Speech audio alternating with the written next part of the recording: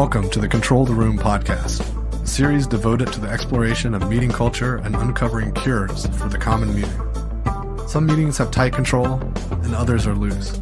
To control the room means achieving outcomes while striking a balance between imposing and removing structure, asserting and distributing power, leaning in and leaning out, all in the service of having a truly magical meeting.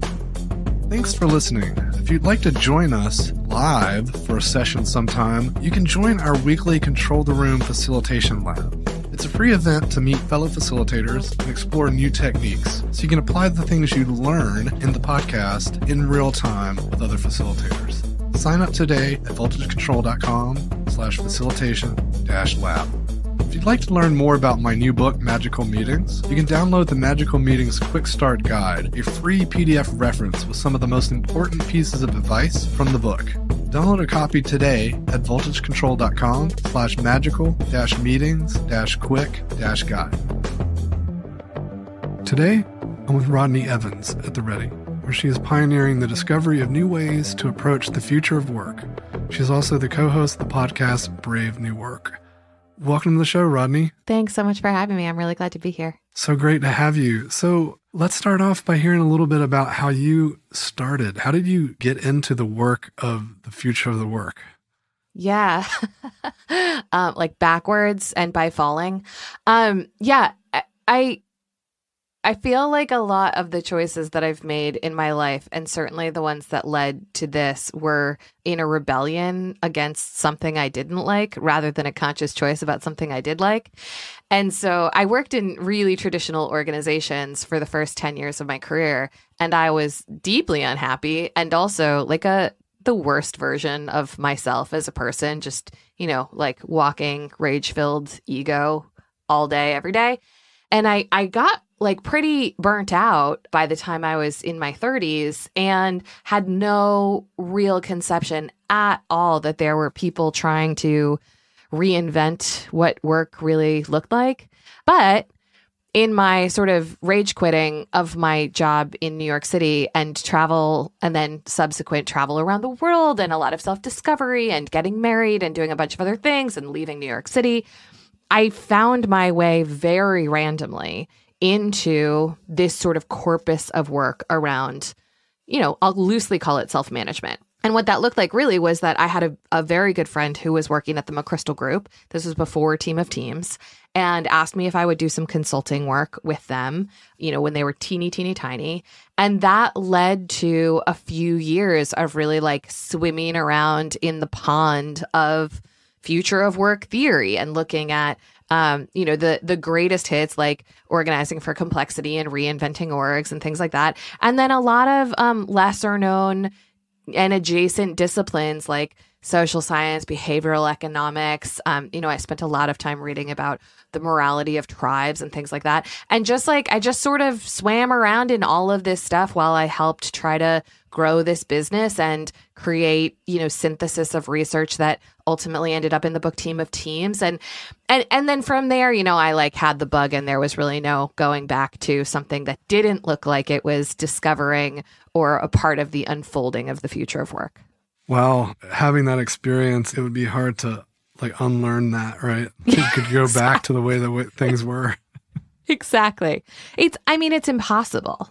It's impossible I to me, and and and I suppose you know it's privileged to be able to say that, but I truly, you know, there are a lot of things that I would have done post McChrystal Group before I would have gone back to a traditional hierarchical organization. Mm, so many questions. I want to get into what is the power of even experiencing that and how much impact that could have on organizations just being able to witness it firsthand because i think that's so many people are starved of that and when you say witness it, tell me a little bit more.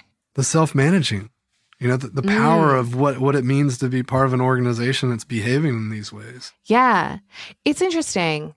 It's an interesting question because I think that in some ways, self management feels like, oh, it's just work and like we're working in teams and we have a lot of autonomy. And how different is it really? And then in other ways, it's so radically different to work in a self managing company that it is like it it completely upends your view of systems generally. And and I don't totally know how to I wish that more people could have the experience even while they're working in their more traditional jobs so that they sort of understood that there was another way of being and organizing and collaborating and deciding that works in fact better than all of the ways that they've been taught and socialized to and rewarded for their whole lives. But like that's just not that's not how the vast vast majority of the world experiences work. So it's a strange thing to feel like you're sort of on the other side of something and and hoping that more and more people are able to cross over that chasm. It's like fascinating because it's hard to run experiments because there's no control, right? Like you, you go to work every day and you experience work the way you're going to experience it. But then how do you, how do you see what the alternative could be without actually going to the alternative? And that's risky for folks. It can be very scary to think that, wait, I'm, I'm expected to go change all this stuff. And, but this is kind of somewhat working. Yeah. Yeah, absolutely.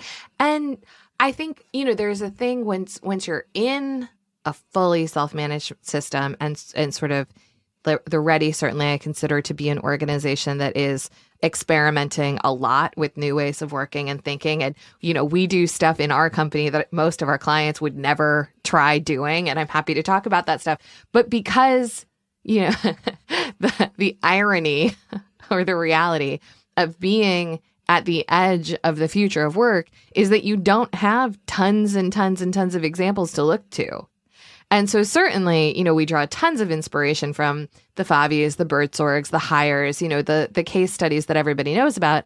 And at the same time, when you think about the operating system of a company, there's tons of stuff that isn't figured out. Like I want to have I want to have 10 versions of beyond budgeting to choose from, not one. I want to have 10 versions of you know holacratic meetings not one as we're just we're like making it up as we yep. as we go along and trying to figure out how to expand and extend the practice so that it can become more accessible, more attainable for people to be trying stuff inside of their context even if they don't work in a self-managing system.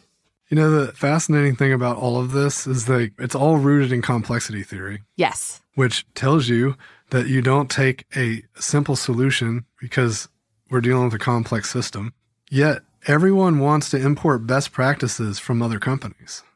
Right. That is what they want. They they just yearn for it. They want to just pick up the business book and get the anecdote, listen to the podcast, get the thing, and go just say, "We're going to put this in, and it's going to fix everything."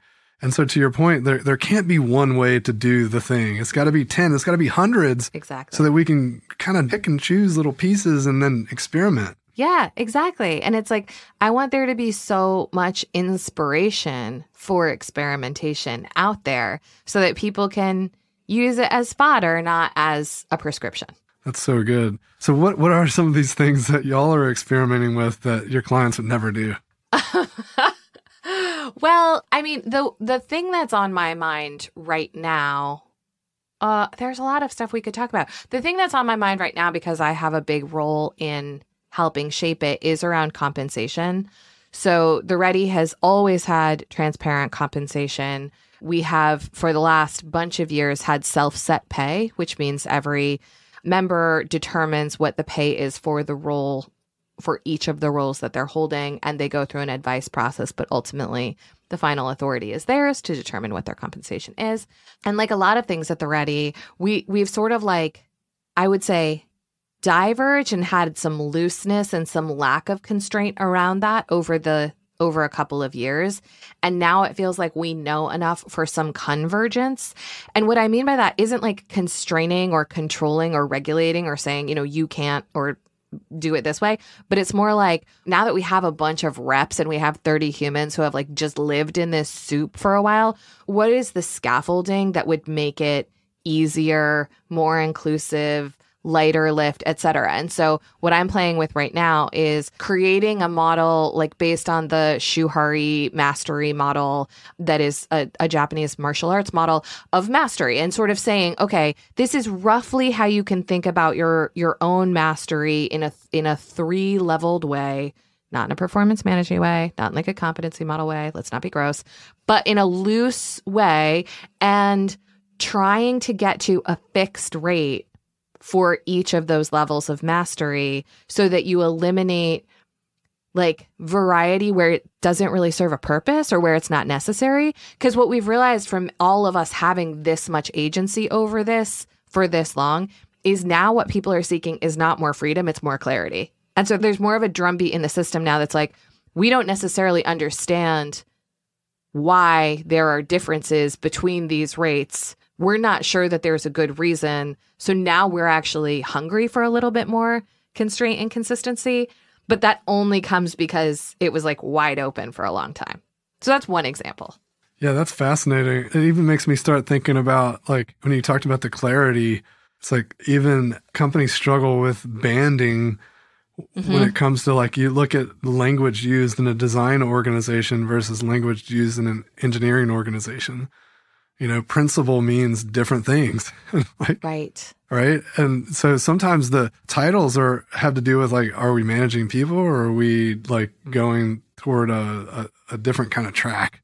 And so so many of these layers get so complicated that I don't even think everyone truly understands what's happening.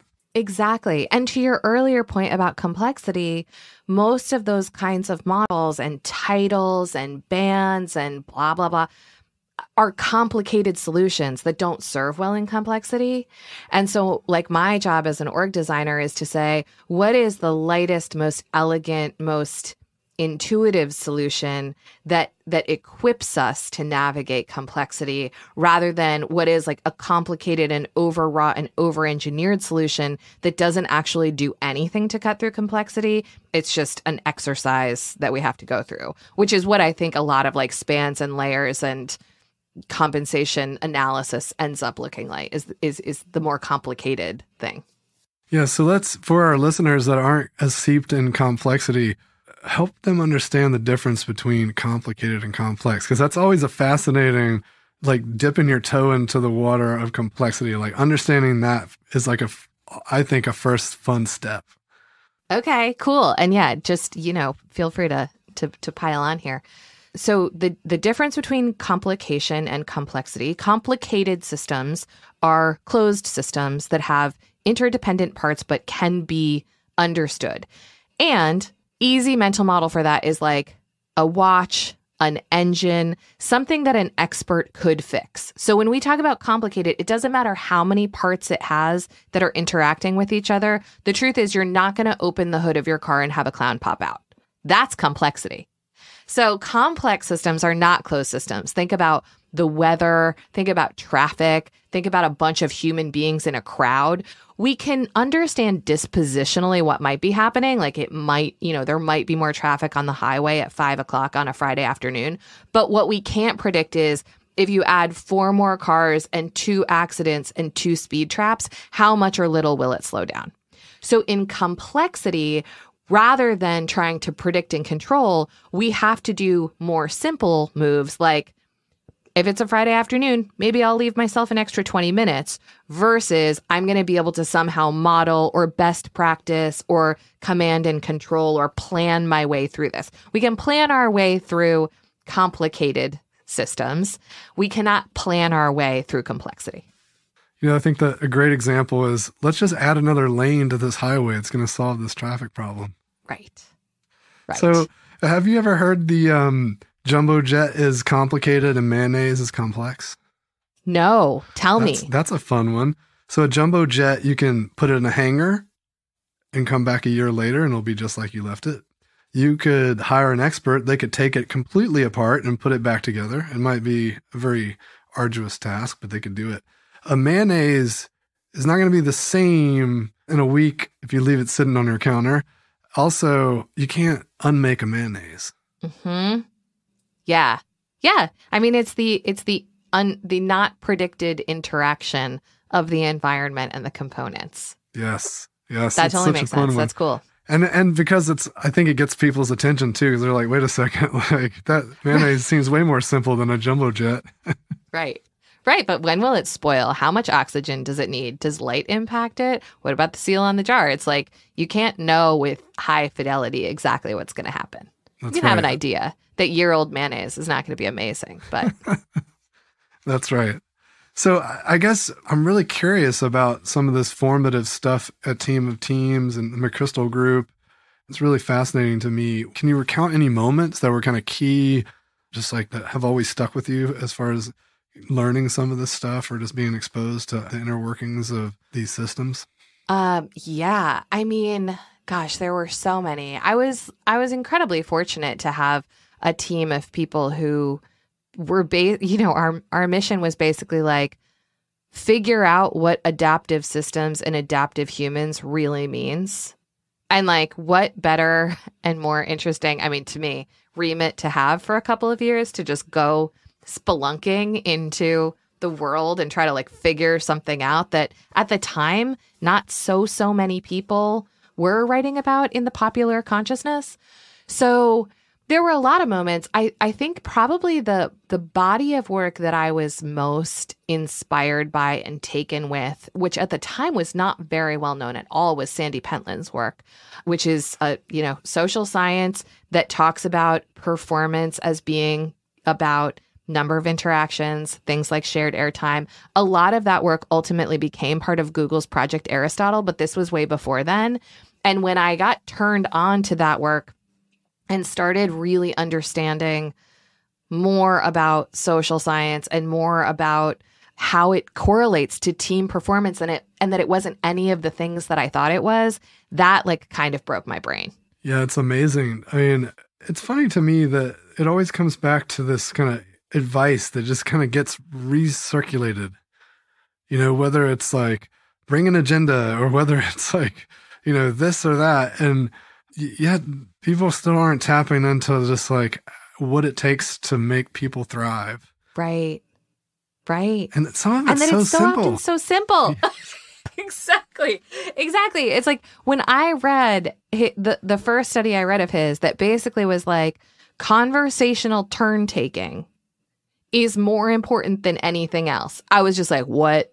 No, that cannot possibly be. And then, of course, because he's the primary researcher, there was real data there to bear that out. And it just like, how simple is that? It's just like for a leader, just like shut up and Mhm. let someone else have a go. That that's the magic wand. What? That's amazing.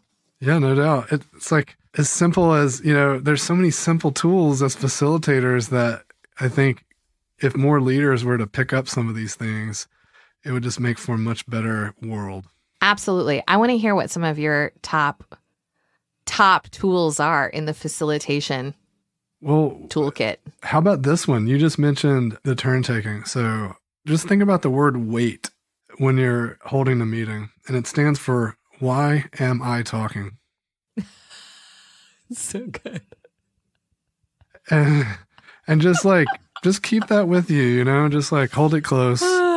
Because yeah. oftentimes we just need to give space. And and this is especially important when we're talking about cross-cultural stuff because different cultures have different amounts of time that they need to respect others spaces or you know some folks are more quick to jump in versus others. And that's that will vary drastically by culture. And so really making sure that people just have the time to process and then be ready to to share I love that. Why am I talking? I've never heard that before. It's so good. It's it's a powerful one. Now I want to come back to something we were talking about in the pre-show chat, which is like I'm really excited to hear about this. You're talking about you're just done with meeting people where they're at, and you- you've kind of come to these terms, which is probably hyperbole because I'm sure that like there's plenty of stuff that you're like, you know, it's important to to be there for for people, and but the point is there's some non-negotiable things that that are kind of table stakes to do this work, and so. I'm curious, what have you found that if companies aren't doing these things or if leaders aren't tuned in, then it's going to be doomed out of the gate? Hmm. Yeah. So there are a few things that we're just becoming more insistent about in terms of foundational agreements. And when we think about foundational agreements, think about it's like, you know, a company hires you and they're like, okay, we're going to play a game together. And it's like, we want you to change the game for us, but do it playing by our rules. Like that just doesn't work very well. And so when I talk about foundational agreements, it's like things like if you're not going to let me have an ability to facilitate or change the way you meet, I'm not interested. If you're not going to change the way that you change, like if you don't believe in participatory change and you're not going to embrace a structure for doing that, not interested.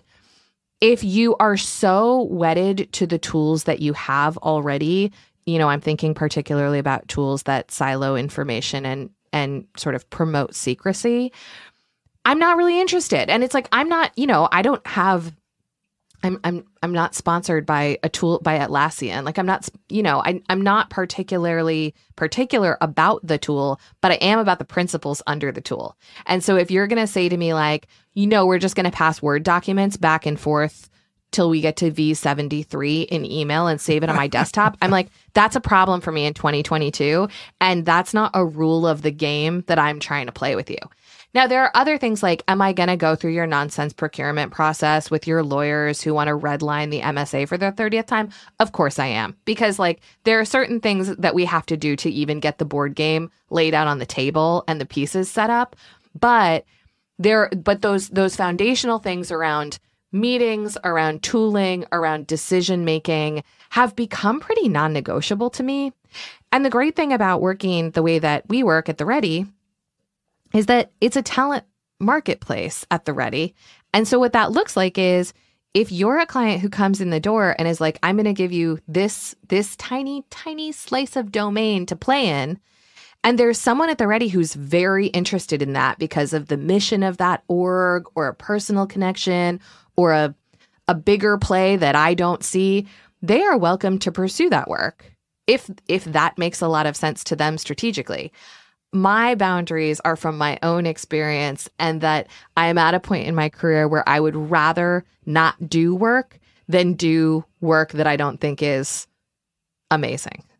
But what you're describing there, just even in that final little moment point that you made, is I think a great example of living the values of what you mm. what you what y'all preach, right? The fact that you can approach the work in a certain way, and this other individual can approach the work in a, in a certain way, and projects can come in in different sizes, and you can support different shapes and and configurations because people can bring themselves and and they do have the autonomy to manage those decisions. That speaks to the principles that you're living i think. Thanks. I i mean that's how it feels to me. It feels like there's a lot of choice baked into our operating system and i think that's how it should be. You know we've all been in and around large consultancies where it's like here's where you're deploying and if you if your utilization isn't what it should be there are consequences. And like i truly cannot imagine being in a consultancy that runs that way and and the clients getting the best outcomes. That just mm. that seems nuts to me. Yeah. You know the other thing that strikes me too is that i sympathize with the companies that have been around longer and are more entrenched because i i feel that if to be mission driven to be values based and to support this very open and very kind of self managed approach, recruiting intentionally towards that goal is a powerful strategy. mm. Because if you're kind of recruiting with the old mentality in mind, you might be putting people in boxes and they might be very well suited to be in a box. And then in the new model, and you're asking them to like now behave in a, in a totally different way, the new system might not be the best environment for them. Not that that system wouldn't be good for them under a different mission or a different industry or a different company or even I've seen that in some of the candidates we interview for and it's one of the reasons why we do very um, participatory interview style Mm-hmm. So I think of a way to simulate the kind of stuff we would be doing together and get in there and do it. Because even if they lack the experience, I want to know what their intuition's like. Mm-hmm. Like when we're actually simulating that conversation, what are you bringing to the table, and how are we how are we jamming and and reacting to each other on the fly? And so I don't know. I'd be curious to to hear your thoughts on like how much the the recruiting process and even the people that have already been recruited impact the line of sight on how easy it is to make these shifts, especially for companies that are more entrenched in the old way. Yeah. It's a really interesting question. So just to sort of work backwards, I think that um, you know when you describe how you all do your interviewing process, it, it's probably quite similar to how we do it at the Ready. And what we're trying to do is give people a lived experience of what working with us is going to be like. So we deploy in duos, so interviews are in duos. We do certain kinds of practices, so interviews are those kinds of practices. We work with clients, so there's a client simulation. So it's like we are trying we're trying to just put people in the experience that is as close to the experience as they'll have so that they know if they like it because like mm. it's not for everyone so i think that's totally a feature and like really solid design unless that is being created in an aspirational way. So we're trying to simulate something that we're hoping happens. We're trying to simulate the future organization that we wish we would have because then you're just lying to the candidate and you're giving them an experience that is not going to be fulfilled once they get there. So I think I think this is an Aaronism, but like I'm a big fan of start the way you mean to go. So like start, you know, have the interview process be reflective of the culture that someone is going to be onboarded into. In terms though of just like how does new blood sort of nest with making a shift, I think it can be incredibly beneficial if there is a protected domain where those new people with fresh ideas can experiment without retribution or immediately being squashed. Because, like, how many times have you seen the play in a traditional organization where they're like, we're going to hire Jeff and he's like a real revolutionary thinker and he's going to come shake things up and we're going to make him the head of innovation and we're going to give him $3 million to build an innovation lab. And, like, is Jeff ever there 18 months later? No, he is not there because on his third day, they're like, Jeff, could we see um, a Gantt chart from you that outlines when you'll have amazing ideas that revolutionize our category? And also, those need to be intra quarter because we have a stock price to uphold. It's like, you got to have enough domain where the person that you're bringing in who's different than the culture can actually do something and like have enough time and runway to make a bit of a dent that then can be a model or can spread beyond a small domain. There's also a big risk of even just telling that story. I mean, how how antithetical to self-managing is it to bring in someone and hang all our hopes and dreams, glorify and idolize them as to solve totally. all the problems? Like there no one else in the world. everyone's like, well, they'll figure it out. What do I need to do? Exactly. I mean, I always say heroic leadership and that being necessary is the surest sign of crap org design. Like, if you need that person, to your exact point, if you're hanging all your hopes on Jeff, you already have a deeply screwed up OS. I mean, Jeff is the worst. Poor Jeff. I mean, that guy is just, he's not going to make it.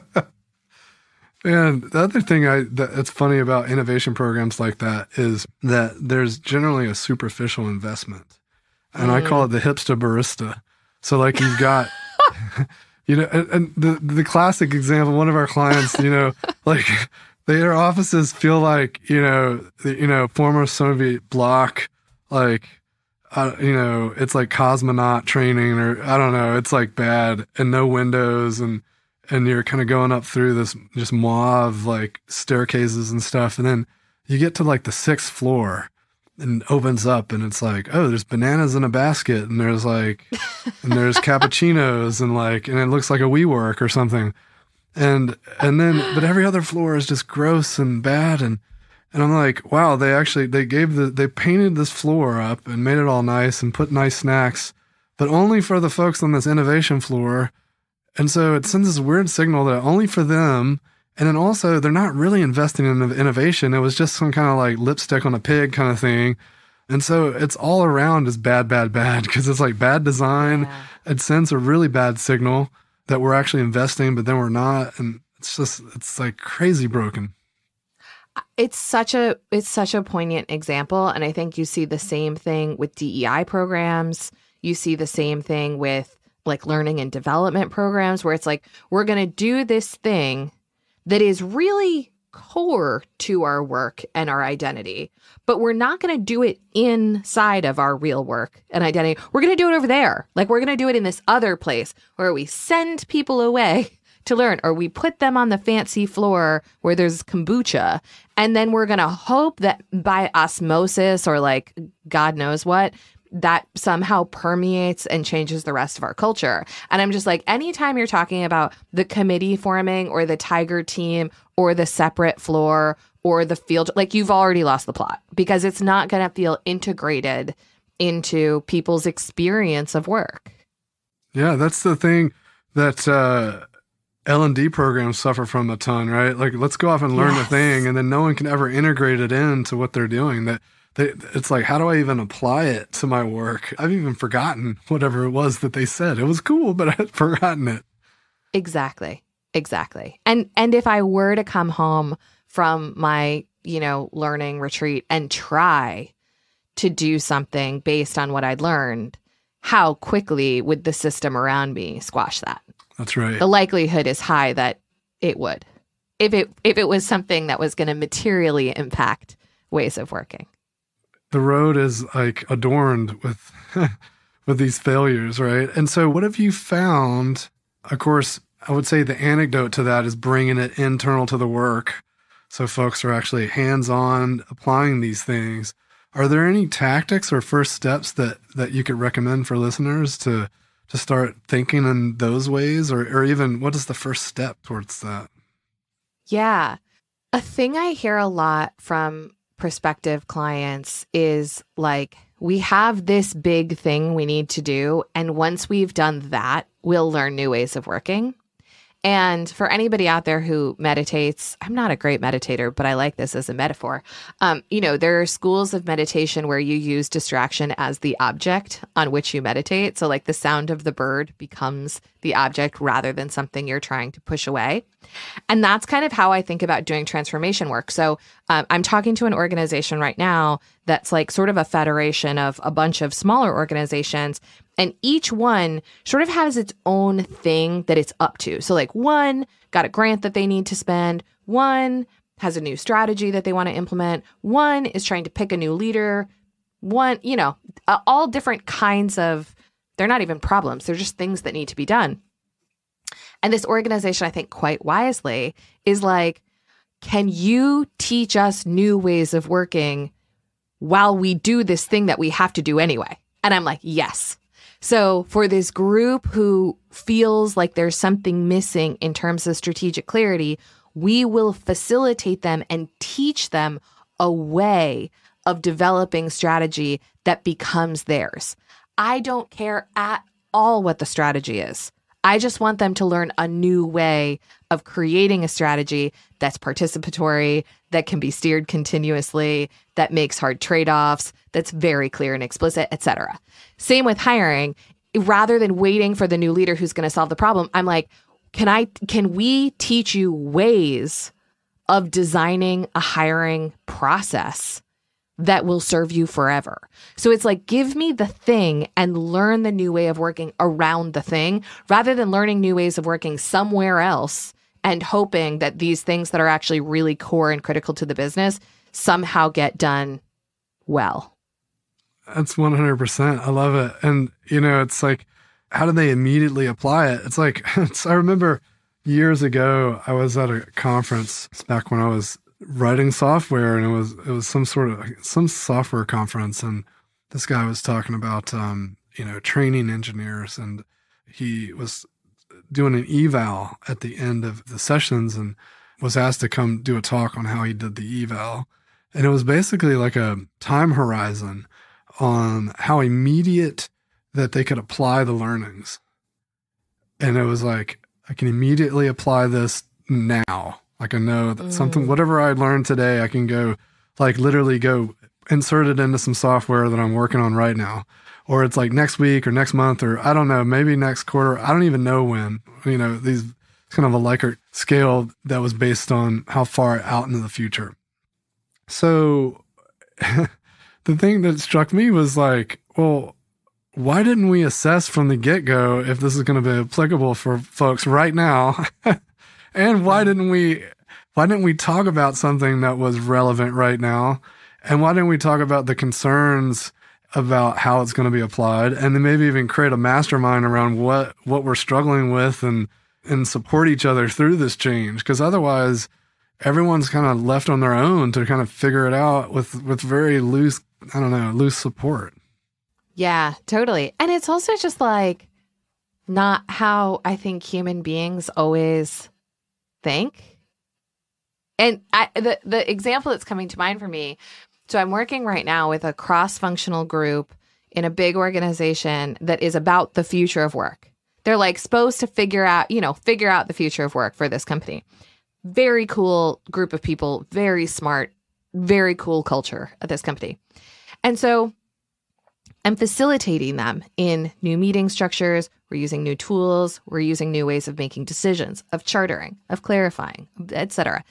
And we like got to a point a couple weeks ago where there was not not even grumbling, but they were just like, this this has been really cool, but like, you know, what are we actually going to do? And I'm like, all the things that we've been doing you can just do and those are real moves. Like just go just go do them and you'll be you'll be doing it. It's like it's just the moment of being like you guys this is it. We're doing it right now. And it was it was really like a switch flipped and all of a sudden they you know there was a lot of pull for oh can i have an asset to help me with or here's a group that i think could use this process or i'm going to go facilitate this or i'm going to offer this or i'm going to suggest we do a retro whatever the things were but um but sometimes i think it takes if you're not an org designer or you're or a coach or someone who sweats this stuff naturally, I think it's really easy to go back to your like QBR meeting and just be like, okie dokie, let's project the spreadsheet and listen to someone talk for 75 minutes. And it's like, no, no, you guys do the thing we just did, did an hour ago to understand and integrate feedback to something. Just just do it over there, you know? So it's like that's just a it's a tricky shift to make. And then once people make it, they're like on fire. Yeah, the, they just it's like trying it once, you know, and getting building that building that muscle memory of just being like, oh, I can do this. Exactly. Exactly. And I should. I should do this. Like yes. this, you know, they, for all the people who I have experiences with who are like, that was amazing. That was the best hour I've spent this week. I'm like, cool. Just go replicate this in the next thing you have to do. You you don't need me to do it. That's the whole idea. That's the thing, you know, I, I feel like habits are so hard to break. Like, even though people like feel like meetings are the worst and they complain and complain, but the reminder and outlook goes off and they go in there and they just default to, I mean, default's a good word, right? They just default yeah. to that behavior. And, yeah. and it takes some energy to like knock folks out of that default. And I think what you're talking around about, like the coach can go a long way towards nudging and encouraging folks to just make that first step. The other thing I've noticed too, I don't know if you've tried this, but we do a lot of what my friend Keith McCandless refers to as thinking out loud. Mm-hmm. and so we might be running a thing, but then it's like that metacognition moment where you're like, so what just happened was, or like, what I'm doing right here is, you know, so it's like not yes. only are we modeling a thing, but then we're also being like, hey, by the way, you can do this in your weekly, you know. Yeah. I love that. I've started at the end of, you know, a half day, at, at sort of the half day break and the end of day break of workshops, just recapping the practices that we used. And people are like, wow, we did, we tried so many things. But, it, but I've noted, like, to, to, to your and Keith's point, um, when you don't do that, people just go like, wow, that was a dope workshop. Not like, here's 10 things we did that you could just go do here's the thing if you've designed a really amazing experience where there's a great arc people get lost in it because it's like engaging. There's a through line. Exactly. it's like being on a roller coaster. No one no one no one ends a roller coaster and thinks there was okay there were three ups four downs two loops. You know maybe they remember uh, vague feelings the high and low points you know the power of memory moments but like so yeah giving them that manual i think is important. Totally. Totally. What about commitments? You know, like uh, I think ending with like encouraging them to think about when they might apply it and then share that commitment. So it's like they're making it to themselves and maybe to someone else. Also can serve as that little nudge too. Yeah. Yeah. We do a lot of, um, we love the closing round of a meeting or a session that's like a personal flip.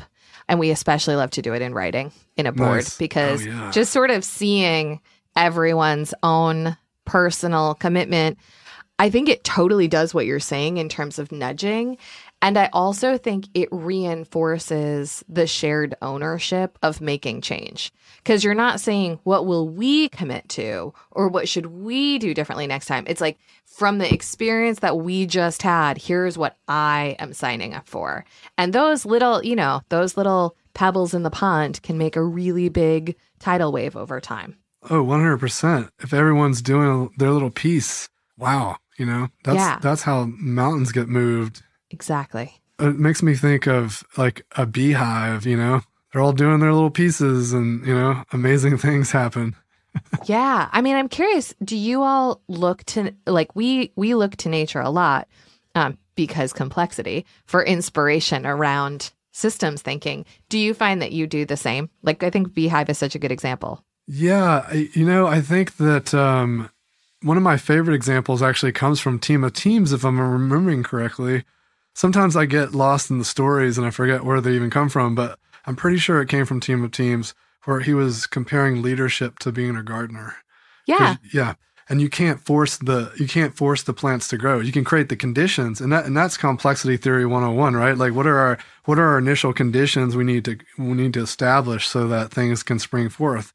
And I think Right. that's uh you know my wife's an avid gardener, and whenever I, I watch her gardening, and I'll often think about like yeah, that's kind of what it's all about. You know, it's like let's like yeah. let's remove some impediments like these we don't want these weeds in the way and the beautiful thing about that is if we're really thinking about leadership from that perspective anybody can be a leader it's not about some role or position if i see a weed i can remove it if i see something in rachel's way i can get that out of the way Absolutely. Yeah. I think that's it's a it's a really beautiful metaphor and that's how we should be looking not just at leadership but at systems. You know, I often think about sort of the the governing of the commons and Ostrom's work and to you know, I think about I think about the ready, for example, like a garden. And it's like is it only one or two people's role to like make sure that the plants don't die? It's not. It is a community garden. And if nobody tends to it, it'll die. And so I think it's it's the right, more collective, more powerful, and ultimately less fragile way of looking at leadership than the old model of the brilliant strategist who could see eight moves ahead and then just tell all the pawns where to go. i love that especially the community garden piece i hadn't thought about that like specifically comparing it to like everyone in the community has a vested interest in making it as awesome as it can be and and you could i think a dystopian view would be that oh people will just litter and take advantage or just like harvest from it or whatever but you see them thrive quite um, magnanimously and it's like really nice Yeah, you do. And it, what it, having worked in a lot of traditional systems, there was often, you know, there's often a tenor of comp- of competition, and how that shows up is is my part more valuable than your part? Like if I'm the salesperson, is that more valuable than the product person? Or if I'm the finance person, is that more valuable than the marketing person? And in a garden, nobody cares which plant is the most important. It's like you know, I think about this at the ready. I think one of the things I'm really proud of in terms of our own maturation over the last couple of years is that there is an appreciation that it takes a lot of different kinds of effort and different kinds of ingredients to have a garden emerge that is vibrant and healthy. And so there's no debate or discussion of like, is finance more important than growth or should hiring get more than the it's like we need it all. We need all of it in order to have a a really thriving community that feeds us. Yeah, I think ecological models are really fascinating. We actually, and we have a weekly facilitation lab where we invite facilitators to come and just experiment with stuff that they haven't tried before so that uh, we can learn. And, you know, we're not necessarily doing it in front of a client or not doing it in front of the big boss or whatever. So we had an ecologist come and she was experimenting with some ecology models as a form of facilitating the groups. And I was like, this is like, kind of new and interesting, but it feels That's very cool. familiar and, and similar. So it was like it was almost just like new language over top of something that was already very familiar. It's fascinating. I love that. That's really cool. So you know, I think we could clearly geek out and talk about this stuff for for for a long long time, but uh, we're gonna have to come to a close. And so I guess would like to wrap with a couple things. First, as you think about the potential, as more and more companies, you know, lean into these things, and you know, in the pre-show chat, we mentioned Web three. We didn't get to it in this conversation, but certainly, you know, that's a place that this this stuff could go, or even that might unlock more potential. Like when when companies embrace this stuff more, whether it's through Web three or other mechanisms, what do you think becomes possible? What does the world look like once this once we see more of this? Uh, I mean, what's not possible? I I feel like the more I see systems really leading into self-management, whether that is DAOs in Web3 or whether it's, you know, cities that want to become self-managed in terms of local government or whether that is community organizing that takes a very self managed approach. I'm just like, participation from the invested who are also impacted by the outcomes will save us from broken systems. And I look around in, in the US at least at the systems that we pay into and work in and uphold that don't serve the people inside of them, whether you're talking about education or healthcare or aspects of the government. And what that falls to, to harken back to our earlier conversation, is we expect heroism from healthcare workers, from teachers, from politicians to overcome a broken system and serve us. And to me, that is not reasonable. It's not sustainable. And my hope for the future is that we can build different kinds of systems so that we don't have to live in the ones that suck and try incrementally to reform them from within. Well said. Well said. Well, I want to give you an opportunity to leave our listeners with a final thought. So, what should they keep in mind as we kind of close out the episode here? Oh gosh, this has been really fun. I guess because this is on my mind right now, a thing that I would leave people with is as you are inspired to go and make change and make haste in the world, do your own work. I'm in a coaching process right now with the Conscious Leadership Group, who I think a lot of. And uh, I am a coach. I've had coaches. You know, I'm like very bought into self work.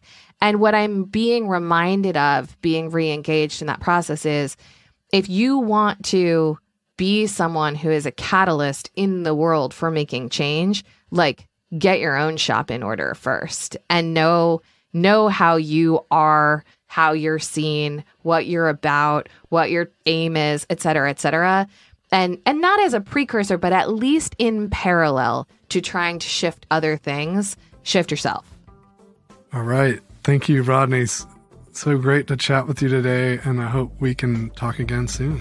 thanks so much for having me this was really fun Thanks for joining me for another episode of Control the Room.